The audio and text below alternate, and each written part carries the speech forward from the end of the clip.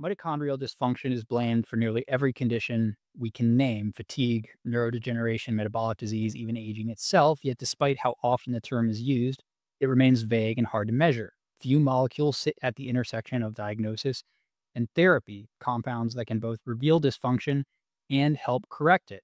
But one does. Inside the mitochondria, it doesn't just buffer energy, it signals when that system is failing. It can stabilize, restore, and maybe even reveal disease before symptoms appear.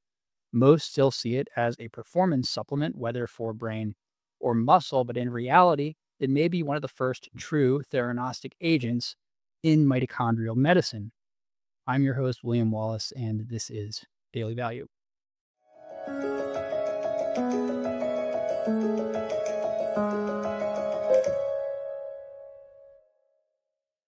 For as much as we've been inundated with research and marketing around creatine lately, its story has been far too small for its biology. Everyone knows it as the gold standard supplement for strength, and it's gaining recognition for its impact on cognitive performance. But its most important function happens at a level that almost no one is talking about inside the mitochondria. Mitochondria produce more than 90% of the body's ATP. When that system falters, fatigue, inflammation, and degeneration set in. Yet, what we call mitochondrial dysfunction is an umbrella term that doesn't tell us where or why things go wrong. It could mean one of three things one, a failure in energy transfer, two, a loss of membrane stability, or three, an imbalance in oxidative control, each capable of disrupting the entire system. And that's where creatine enters the picture. Inside the mitochondria, it doesn't just serve as an energy reserve, it acts as a stabilizing molecule, a redox buffer, and potentially a measurable indicator of mitochondrial health recent literature has reframed creatine as a mitochondrial targeted theranostic, meaning it functions both as a therapy and as a diagnostic tool for disorders of cellular energy.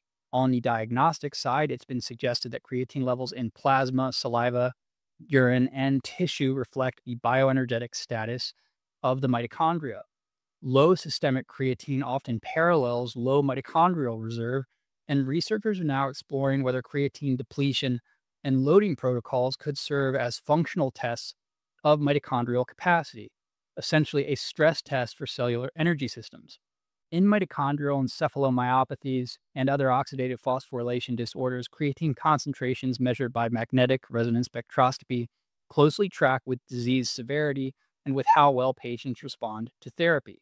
If things continue to play out this way, that makes it one of the few molecules that can both report on mitochondrial dysfunction and also be used to treat it. Therapeutically, creatine acts through several defined mechanisms inside the mitochondria. The first way is through its stabilizing of the mitochondrial membrane. Inside the mitochondria, the enzyme mitochondrial creatine kinase, this is the enzyme that attaches a phosphate to free creatine to form phosphocreatine, binds to a lipid called cardiolipin. Cardiolipin is a structural lipid of the inner mitochondrial membrane where ATP is produced and accounts for 20% of all lipids in that membrane. Cardiolipin anchors complexes three through five of the electron transport chain in place. It helps keep them stable. The mitochondrial creatine kinase cardiolipin complex is needed to remain intact to preserve the electrochemical potential of the mitochondria itself.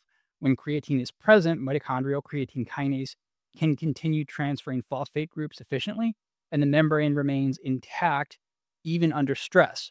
Without creatine, that coupling fails. ATP production drops, the membrane depolarizes, and the mitochondria become more prone to apoptosis. In simple terms, creatine helps the power plant hold its shape under stress, which leads us to the second therapeutic role of creatine for mitochondria, and that is preventing catastrophic failure through mitochondrial permeability transition pore, or MPTP as it's shortened to.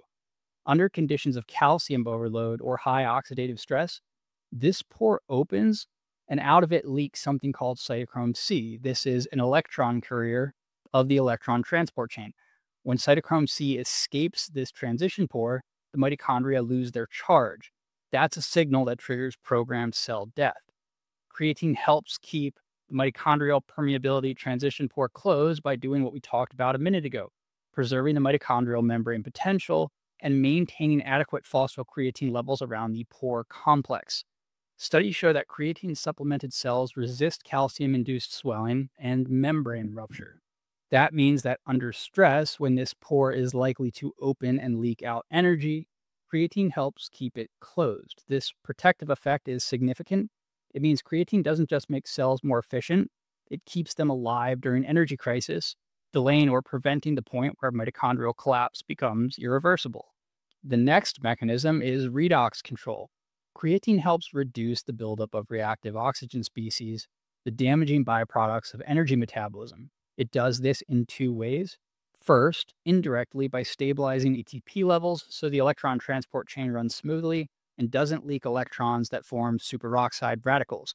And second, by conserving a compound called NADPH, the molecule used to regenerate the body's primary antioxidant, or one of them, glutathione. The last mechanism is through creatine's ability to act as a direct and an indirect antioxidant in mitochondria. NADPH is a compound that is needed to recycle glutathione in our bodies. When the mitochondria are stressed, NADPH is often consumed just to maintain ATP. When creatine is present to relieve that burden by handling the energy buffering itself, NADPH is then available for glutathione recycling. Thus, creatine acts as an indirect antioxidant because its presence allows the true and powerful antioxidants to be made. Taken together, creatine's actions inside the mitochondria, stabilizing membranes, reducing oxidative stress, and keeping the permeability transition pore closed, restore the most fundamental property of the cell, energetic stability. Supplementation has been shown to restore bioenergetic buffering, improving how efficiently cells generate and distribute ATP under stress. It also enhances mitochondrial resilience in both muscle and brain, helping neurons, myocytes, and other high energy tissues recover from oxidative and metabolic strain. On the diagnostic side, measurable creatine levels in plasma, saliva, or tissues may soon serve as a biomarker of mitochondrial health, reflecting how much energetic reserve remains. That dual capacity to both reveal dysfunction and correct it is what makes creatine unique among many nutrients. Creatine doesn't just support performance in your muscles and your brain, it protects the engines of life themselves. Thank you for joining me today on Daily Value. Until next time, stay healthy.